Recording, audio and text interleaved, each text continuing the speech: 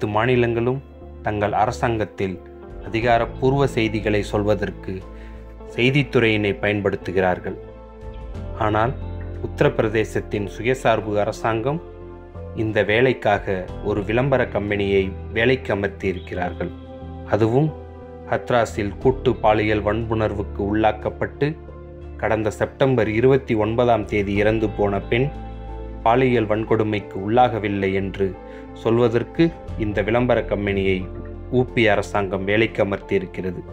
வியாழக்கிழமை இரவு இந்தியாவில் உள்ள பிற நாட்டு பத்திரிகை நிருபர்களுக்கு கான்செப்ட் பிஆர் என்ற விளம்பர கம்பெனியிலிருந்து விளக்க அறிக்கை என்கிற பெயரில் ஒரு குறிப்பு அனுப்பப்பட்டிருக்கிறது. இந்த நிறுவனம் மும்பையிலிருந்து செயல்படுகிறது. அந்த விளக்க அறிக்கையில் ஹத்ராஸ் பெண் பாலியல் வன்கொடுமைக்கு உள்ளாக்கப்படவில்லை. தடயவியல் சோதனை ஆரம்பகட்ட மருத்துவ மற்றும் பிரேத பரிசோதனை அறிக்கையில் அம்பலம். இந்த அறிக்கைகளில் மாநிலத்தை சாதி கொந்தளிப்புக்கு தள்ளுவதற்கு செய்யப்பட்ட சதி அம்பலம். சிறப்பு புலனாய்வு குழு இதற்கு பின்னே இருக்கும் கெட்ட நோக்கங்களை வெளிப்படுத்தும் என்று அந்த விளம்பர நிறுவனம் தெரிவித்திருக்கிறது.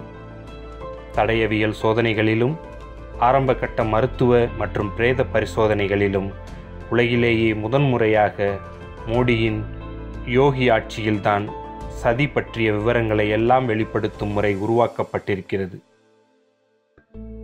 இதற்கு மேலும் அந்த விவர அறிக்கை அவசர அவசரமாக ஏன் அந்த பெண்ணின் உடல் எரியூட்டப்பட்டது என்பதற்கான விளக்கத்தையும் அளித்திருக்கிறது. விரும்பத்தகாத சம்பவங்கள் நடக்காமல் தடுப்பதற்காகத்தான் அது செய்யப்பட்டதாம். இந்த விளக்க அறிக்கை ஏற்கனவே அந்த மாநில உதவி காவல்துறை இயக்குனர் பிரசாந்த் குமார் சொன்னதைத்தான் இது சொல்லியிருக்கிறது. ஆனால் இவரது அந்த அறிக்கையை மருத்துவ மற்றும் சட்ட வல்லுநர்கள் கேள்விக்குள்ளாகி இருக்கிறார்கள் இந்நிலையில் இந்த அறிக்கை வந்திருப்பது அரசு தரப்பிலிருந்து செய்யப்படும் சதியையும் முயற்சியையும் வெளிப்படுத்துகிறது. புதிய இந்தியாவில் பாலியல் வன்கொடுமைகளே நடப்பதில்லை.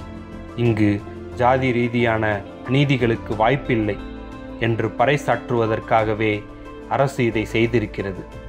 இரண்டாயிரத்தி பனிரெண்டாம் ஆண்டு ஐக்கிய முற்போக்கு கூட்டணி ஆட்சியில் இருந்தபோது நிர்பயா பாலியல் வன்கொடுமை வழக்கு உலகம் முழுவதும் இந்தியாவை பேச வைத்தது போன்று இந்த பிரச்சனை ஆகிவிடக்கூடாது என்று அவர்கள் முயற்சிக்கிறார்கள்.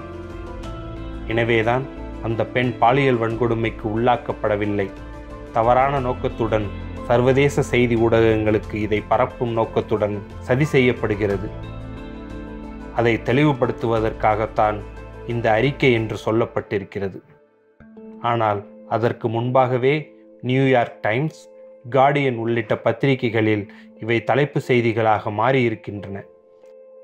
அதை தடுப்பதற்கும் இந்திய பத்திரிகைகளுக்கு எச்சரிக்கை விடுப்பதற்குமாகவே இந்த விளம்பர கம்பெனி வேலைக்கு அமர்த்தப்பட்டிருக்கிறது. மோடிகளுக்கும் யோகிகளுக்கும் பாலியல் வன்கொடுமை நடப்பது அவமானமாக தெரியவில்லை. அதை தடுத்து நிறுத்துவதற்கு உரிய நடவடிக்கைகள் எடுப்பதற்கு துப்பில்லை. ஒட்டுமொத்த காவல்துறையையும் நிர்வாகத்தையும் தங்கள் அடியாட்களாக பயன்படுத்தி தங்களது இயலாமை கையாளாகத்தனம் பெண்ணடிமைத்தனம் தலித் வெறுப்பு என அனைத்தையுமே மூடி மறைக்க நினைக்கிறார்கள். ஆயிரம் பேருக்கு மேல் கொல்லப்பட்ட குஜராத்தில் இஸ்லாமியர்கள் மீதான வன்முறைகளில் இருந்து இவர்கள் தப்பித்து புனிதராகிவிட்டார்கள்.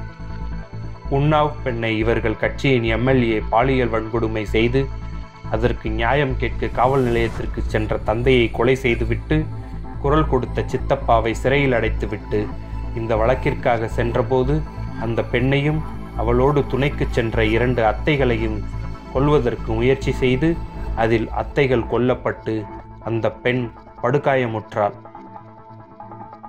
அத்தனைக்கும் பிறகும் மோடியும் யோகியும் வாய் திறக்கவில்லை. அந்த பெண்ணுக்கு காவலுக்கு இருந்த காவலர்களே அந்த பெண்ணின் பயண விபரத்தை எதிராளிகளுக்கு தெரிவித்த கதையும் அதற்கு முன்பே அவர்கள் சந்தேகத்திற்கு உரிய நடவடிக்கைகளை அந்த பெண் அரசாங்கத்திற்கு தெரிவித்திருந்தும்.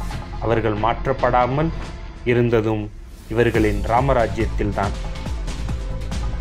இந்த ராமராஜ்யத்தில்தான் அந்த பெண் தனக்கு பாதுகாப்பு கேட்டு உச்ச நீதிமன்றத்தை அணுகியதும் அந்த கடிதம் கூட நீதிபதிகளின் கவனத்திற்கு கொண்டு செல்லப்படாமல் கிடப்பில் போடப்பட்டிருந்தது.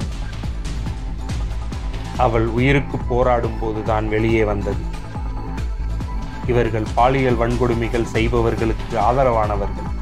அவர்களை காப்பாற்றுவதற்கு இந்தியாவின் அனைத்து சட்டங்களையும் வளைத்து ஒடிக்கக்கூடியவர்கள். ஹத்ராஸ் பெண் வழக்கில் அந்த ஊருக்கு பக்கத்திலேயே அவளது பிணத்தை உறவினர்கள் இல்லாமல் எரிக்கிறார்கள்.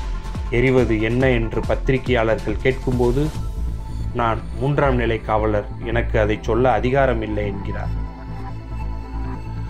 பாலியல் வன்கொடுமை குற்றச்சாட்டு இருக்கும்போது பாதிக்கப்பட்டவரின் உடலை எரிக்கக்கூடாது என்று பலமுறை நீதிமன்றங்கள் சொன்னதை கவனத்தில் கொண்டுதான் அவர்கள் இந்த அட்டூழியத்தில் ஈடுபட்டிருக்கிறார்கள்.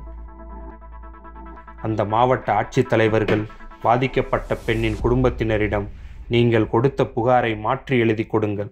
இப்போது இருக்கிறது. பத்திரிகையாளர்கள் எல்லாம் போன பிறகு நீங்களும் நானும் தான் இருப்போம் என்று மிரட்டுகிறார். ஏடிஜிபி விசாரணை முடிவடைவதற்கு முன்பே இது பாலியல் வன்கொடுமை இல்லை என்பதற்கு குப்பைத்தனமான காரணங்களை பேசித் திரிகிறார் இவர்கள் நீதியை நிலைநாட்ட மாட்டார்கள். வேண்டுமானால் நீதி தேவதையின் மீது பாலியல் வன்கொடுமையை ஏவுவார்கள். அவர்கள் ஆசான் சாவார்கர் பாலியல் வன்கொடுமையை ஒரு அரசியல் ஆயுதம் என்று சொன்னவர்தான். நீதி கிடைக்க வேண்டுமென்றால் மோடியும் யோகியும் அவர்களின் பரிவாரும் ஆட்சி பொறுப்பிலிருந்து அகற்றப்பட வேண்டும். என்னதான் இருந்தாலும் குஜராத்தில் செத்த மாட்டுத் தோலை உரித்ததற்காக தலித் இளைஞர்களின் தோலை உரித்தவர்கள் தான் இவர்கள். இவர்கள் மாடுகளுக்கு வேண்டுமானால் ஆட்சியாளர்களாக இருக்க முடியும். உறுதியாக மனிதர்களை ஆள்வதற்கான எந்த லட்சணமும் இல்லாத கூட்டம் இது. தோழர் கா. கனகராஜ்.